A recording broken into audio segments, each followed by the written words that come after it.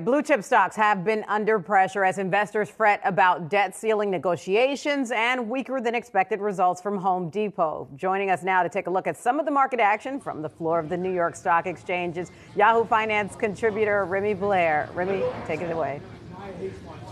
Well, as you mentioned, ahead of the closing bell, we are seeing mixed trading for the major equity averages. The Dow Industrials and S&P 500 remain in negative territory. As for market moving stocks today, let's start out by looking at SAP. Now, shares are higher today as the company kicked off its annual Sapphire conference in Orlando, Florida. Uh, the company announced that it uh, announced a share buyback program of up to 5 billion euros and also taking place at the event, uh, SAP provided an update to its 2025 ambition.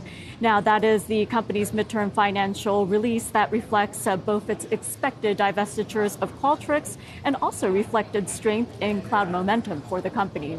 In terms of other companies seeing uh, major market moves today, AMD shares traded higher, and this did come on the heels of news that Daniel Loeb's third point took up new positions in Advanced Micro. Shares were higher by as much as 5% on the session, and according to a regulatory filing, the hedge fund has a stake of 1 million shares in the chipmaker.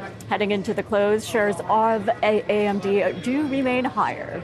Last but not least, let's take a look at RH. Now, that is the company known formally as Restoration Hardware. Shares fell by as much as 8% on Tuesday, and this did come on the heels of Berkshire Hathaway releasing its 13F. And in that regulatory filing, uh, the company, which is owned by Warren Buffett, eliminated positions in RH as it also trimmed stakes in other companies.